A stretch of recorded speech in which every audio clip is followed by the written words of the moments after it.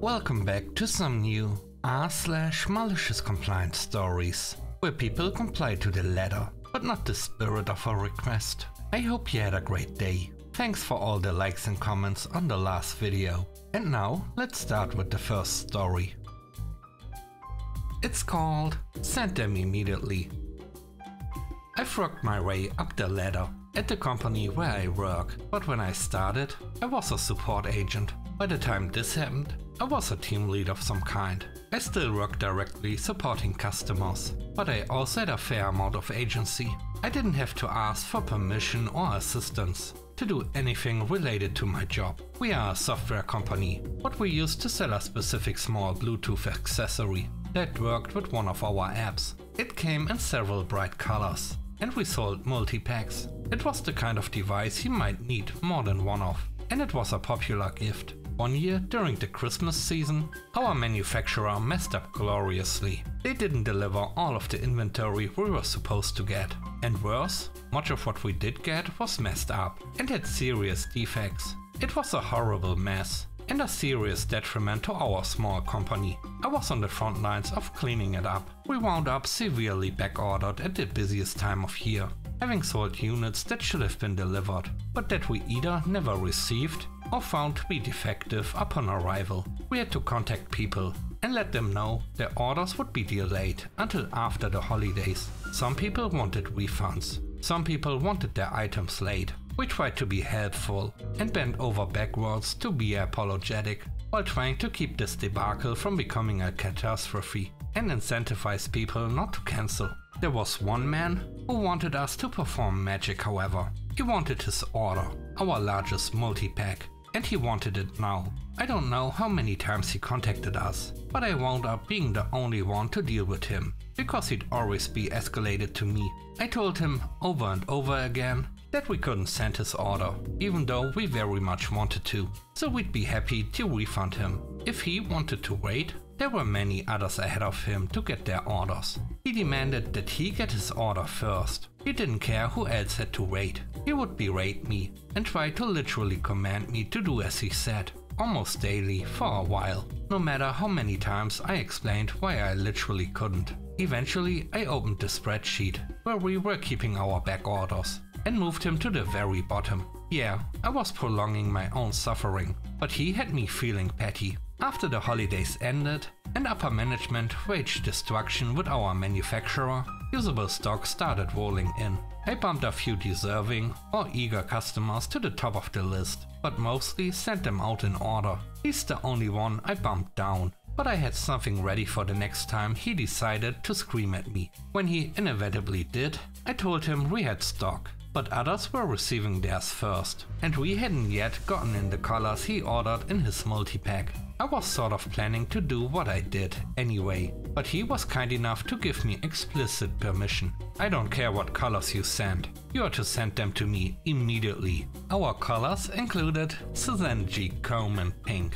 The customer was gloriously smug and condescending when I told him we'd go ahead and fulfill his order right away. He definitely thought he had won some kind of victory. But sure enough, the day his package arrived, he sent an email complaining. I know I said I'd accept any color, but really? You sent me, a man, an order of nothing but pink? I want these replaced. Send me something else. I told him that's all we had available for him and that the conversation was over. And so it was. I never heard from him again. It took a few years before I brought it up, but I've told that anecdote at workplace meetings a few times, including to my boss, the CEO. I wouldn't take another support job ever, but this was worth the misery. Always be nice to support agents, for your own sake. The next story is called She Tried to Negotiate.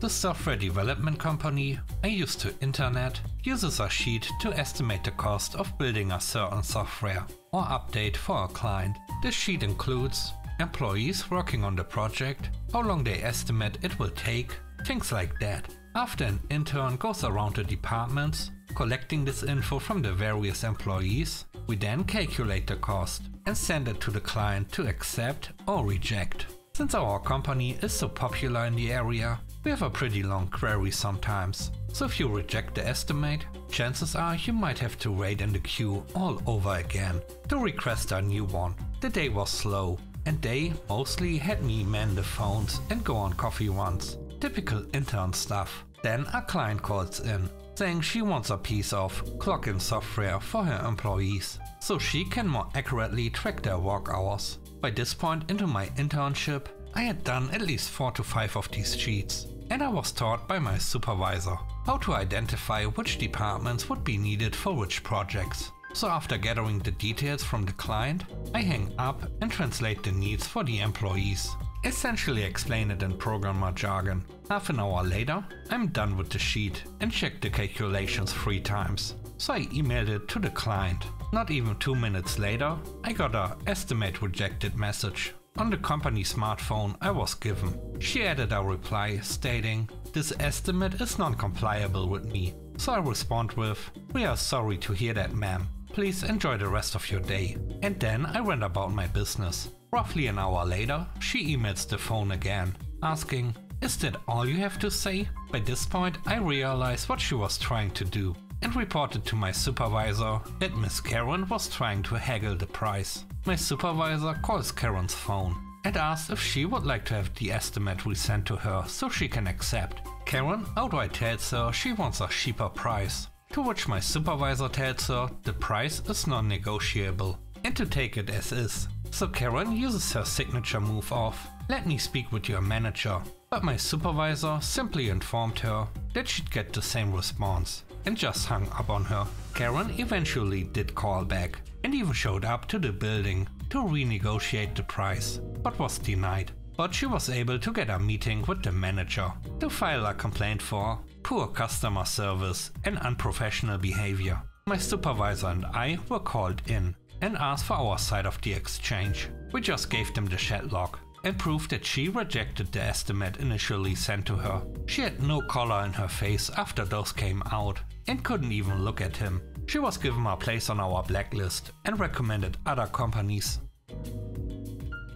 The last story is called Not Leaving Without It.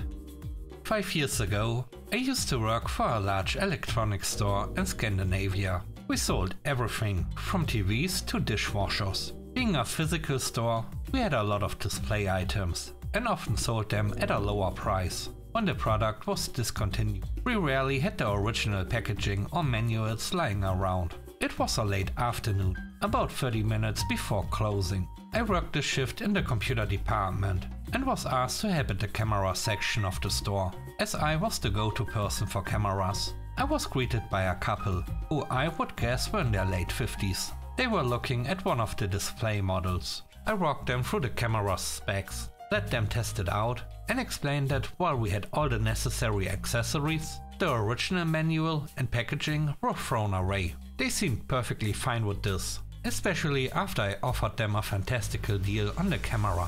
We headed to the checkout, where they paid, and everything seemed to be going smoothly. That is, until the husband turned to me and asked, where's the manual? I was thinking, maybe I didn't explain it well enough. I started to explain again, reiterating that we didn't have the original manual, but that it was easily accessible online. I had even included a link to the manual on their receipt. This was not taken well by the husband, who started raising his voice at me and said, online? I bought this product and I want the manual physically, so I can read through it at home, which I do understand, and tried explaining that I normally would print the manual. However, the manual for this particular camera was about 650 pages. They both were more than capable of looking up the manual, as I saw them browsing the web looking at reviews for the camera. The husband angrily started to berate me for about 5 minutes about how this wasn't a way to run a business and how he wouldn't leave without it. I tried explaining that the manual was 650 pages, how long that would take to print, and that we were closing in around 10 minutes. But he was having none of it, and he wouldn't leave without it. I am normally a kind and respectful person, and would do everything to fix a problem, but he was being disrespectful and I was paid by the hour anyway. So with my best customer service voice, I told him, Sorry sir.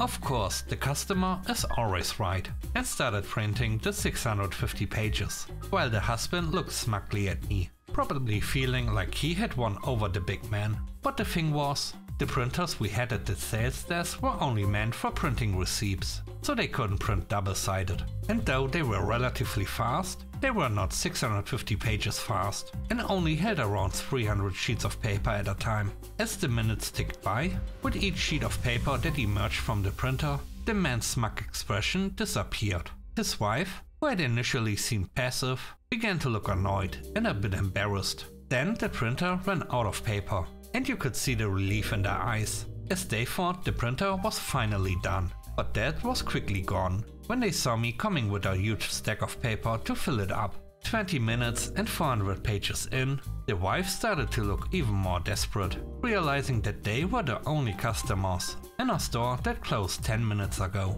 The husband was beginning to realize his mistake and nervously began to ask when it was done printing. I just smiled with my best customer service smile. We are about two thirds of the way.